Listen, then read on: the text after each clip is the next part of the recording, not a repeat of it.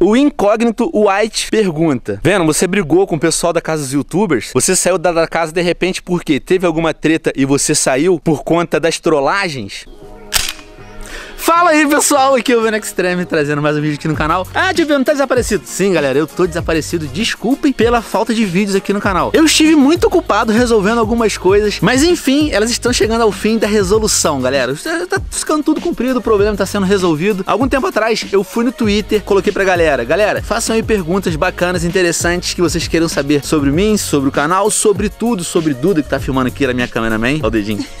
Dedinho gordo, olha que dedo gordo. Branca parece um floco de neve velho.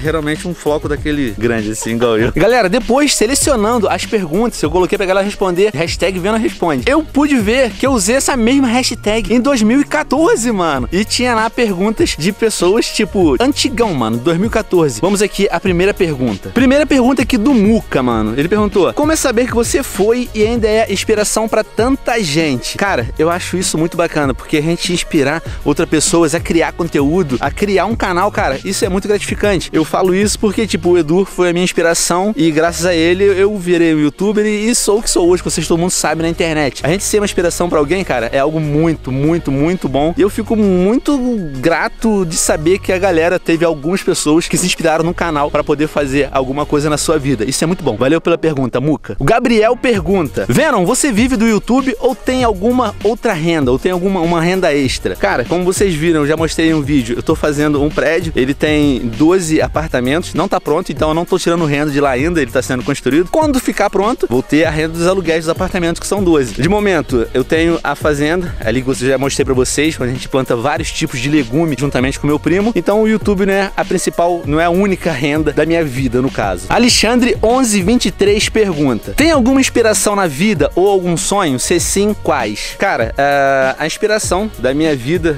agora fora do YouTube, vida como homem, como pessoa, como gente é o meu irmão, cara. Grande parte do que eu sou hoje é graças ao meu irmão. Mano, valeu, obrigado mesmo. Ele, cara, eu me inspiro nele, que é uma pessoa íntegra, honesta, direto. E eu tentei buscar um pouquinho disso aí, das qualidades dele, para mim também. E se eu sou, me formei o homem que eu sou hoje, grande parte é graças ao meu irmão mesmo. Um sonho, cara, o meu maior sonho, eu acho o maior sonho da minha vida é ter um Venoninho, é ter um filho, velho. É o meu sonho e é o de Duda também. E estamos trabalhando para isso. a gente tá trabalhando para isso, mas não chegou a hora ainda, infelizmente. Mas vai chegar e eu vou ficar muito feliz. E quando isso acontecer, vocês vão ser os primeiros a saberem aqui no canal, mano. Fica aí atento que vai ser muito bacana. Quando esse meu sonho se realizar, vai ser mais um deles. E, é o meu maior sonho é esse, é ter um filho. Zila Souza pergunta: Qual era o seu objetivo com o canal? E você algum dia pensou que ele se tornaria tão grande assim? Meu objetivo com o canal, cara, era apenas trazer entretenimento pra galera, pessoal. Entretenimento não, eu só queria mostrar pra galera o que nós tínhamos construído no Minecraft. Eu, o Feromonas, o Master, o Jarvas, o Kandon, o Dark Samurai. Cara, os portugueses que jogavam Minecraft comigo. A gente jogou durante, sei lá, 6, 8 meses. E depois, a minha intenção no meu canal era mostrar pra galera o que nós tínhamos construído ali. E você sonhou algum dia que ficaria desse tamanho? Não, cara. Nunca pensei que meu canal chegaria a 6 milhões de inscritos, que a gente tivesse mais de 1 bilhão de visualização. Cara, isso é muita coisa. 1 bilhão de visualização, cara. Isso é uma coisa surreal. É muita visualização que nós temos. E graças a tudo isso é vocês. Muito obrigado por me acompanhar nessa minha trajetória que eu, eu gosto pra caramba, mano. O Jonas Tupa tá perguntando aqui, galera. O que aconteceu com você, o Monark e o Leão? Vocês antigamente não iam abrir um escritório em Curitiba? Sim, isso aí que o João Tuba perguntou é verdade. Nós tínhamos planos de abrir um escritório em Curitiba. Eles foram lá pra casa quando eu morava em Portugal. Foi o Monark, o Leão e a Nilce. Ficaram lá em casa, sei lá, 15 dias. Foi quando nós fomos a Minecon, em Paris, e conhecemos muitos lugares bacanas. E a gente tá naquele ambiente junto ali, a gente pôde pensar, pô, vai ser bacana se nós três se juntar e abrir alguma coisa no Brasil. Onde? Todo mundo perguntando, pensando, onde, onde, onde? Curitiba. Só que eu morava em Portugal já há 11, 12 anos. Foram quase 12 anos que eu morei em Portugal. Em 2013 eu voltei pro Brasil. Só que revi minha família, revi meus amigos de infância, pude estar perto da minha mãe, da minha irmã, do meu irmão, da minha família toda, dos meus primos e tios. E eu falei, cara, tive 12 anos fora do país, morando em Portugal. Agora que eu voltei para casa, eu acho que eu não vou conseguir ir para Curitiba. e foi isso que aconteceu. Eu falei, cara, desculpe, eu não vou conseguir ir para Curitiba, eu tô aqui em casa e vou continuar aqui, que é onde a gente tá hoje, cara. A gente mora em Teresópolis, uma cidade serrana fria, fria pra caramba, mas eu amo frio, mano. Eu amo frio, particularmente gosto do frio pra caramba. Aprendi isso em Portugal e, cara, trouxe isso pra minha vida. Aqui Teresópolis é uma cidade muito, muito fria mesmo, mas é a minha cidade. Eu chego aqui e falo, caraca, tô em casa. Eu vejo o dedo de Deus de longe, caraca, que paisagem linda que é o dedo de Deus. E foi isso, mano, que aconteceu. Não foi nada treta nem nada. O Monark, inclusive, é um grande amigo meu. Ele veio aqui em casa, passou uma semana aqui em casa em Teresópolis, agora há pouco tempo atrás. O Leão e a Anisco estão no Canadá. Eu já há muito tempo que eu não os vejo pessoalmente, mas são grandes pessoas e grandes amigos também. O incógnito White pergunta: Vendo, você brigou com o pessoal da casa dos youtubers? Você saiu da casa de repente porque teve alguma treta e você saiu por conta das trollagens? Em momento nenhum nós brigamos. Cara, lá ninguém briga, velho. Ali é tudo amigo. Eles são uma família mesmo. Me receberam lá de braços abertos. São pessoas espetaculares que eu tive o prazer de conviver há algum tempo. E eu acho que vai ter mais perguntas sobre isso que eu selecionei. Vocês vão ver ao longo dessas perguntas aqui o que, que eu tenho mais para falar sobre a casa dos youtubers. Não, cara, lá são pessoas cinco estrelas, todos eles, sem exceção nenhuma. O Pi, o Dark, o Antes, o Casio, o Ronaldo, o Nuno e o Window. Cara, pessoas cinco estrelas que uns, uns eu já conheci, outros não, e que pude conhecer ali e ver que todos eles são pessoas da melhor qualidade, gente, cinco estrelas mesmo. E lá, cara, não há briga. Ali eles formaram, juntaram um grupo de amigos, criaram uma família, cara. E isso é muito bacana, muito bonito e muito real, tá bom? Ah, não sei o que, eles estão juntos por conveniência. Não, mano. Eles são amigos mesmo e criaram um vínculo familiar muito grande ali. É verdade isso. O Daisy perguntou aqui, galera, vendo, quando é que vens a Portugal para irmos todos juntos assistir ao nosso futebol clube do Porto?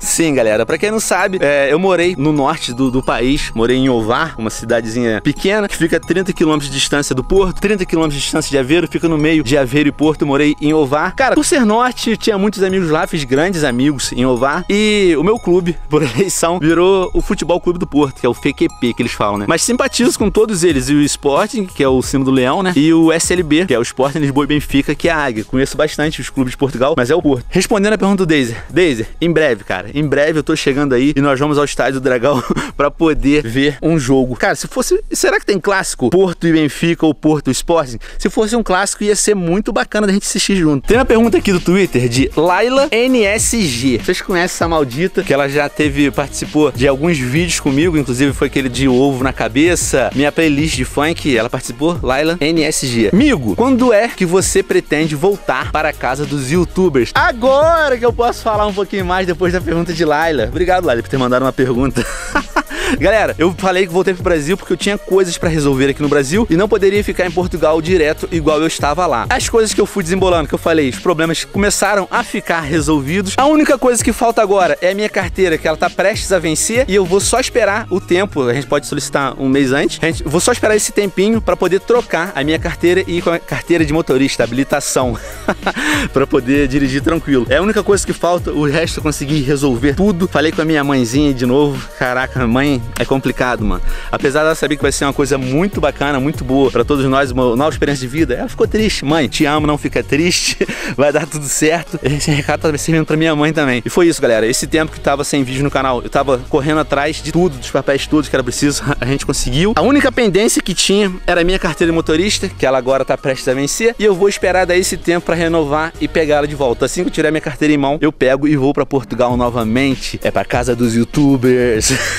Até ficas a bater mal. Parabéns pro cara que fez essa música. Foi mesmo excelente. Essa foi a pergunta da galera. Espero que tenha sanado todas as dúvidas de vocês. Muito obrigado mesmo a todo mundo que mandou perguntas aqui no canal. Muito obrigado a todos vocês que vão lá nos comentários do último vídeo e escrevem: Venom, traz vídeo, cadê você? Desapareceu, não sei o que. Galera, desculpem a falta de vídeo, mas foi por um bem maior, mano. Tinha, tinha que resolver isso. Eu queria muito voltar a Portugal para casa dos youtubers. E quando eu voltar, vai ter vídeo sim. Vai ser muito bacana, muitos vídeos engraçados, interagindo com a galera toda. Aí, galera, depois de todas essas perguntas, mesmo assim, você tiver uma pergunta que não foi perguntada aqui, vocês querem saber a resposta, deixe aqui nos comentários qual é a pergunta de vocês, que eu vou entrar nos comentários e vou responder para vocês. Eu mesmo vou entrar. Deixem muitos comentários que eu gosto de ler a, o que vocês escrevem. E se tiver alguma pergunta bem interessante, bem bacana, eu vou entrar e vou responder. Então, se você tem pergunta que não foi respondida nesse vídeo e você quer saber a resposta, escreva aqui nos comentários que eu vou ler tudo e vou responder pra galera. O que eu posso garantir para vocês é que dentro de menos de um mês mês eu já vou estar aí em Portugal, os, os tours estão me assistindo. Aguardo o tio Ian tá chegando